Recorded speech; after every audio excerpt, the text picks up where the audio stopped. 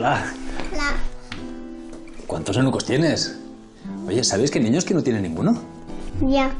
¿Qué te parece si le regalamos uno? Y también un vestidito para que pueda cambiarle, ¿no? Sí, buena idea.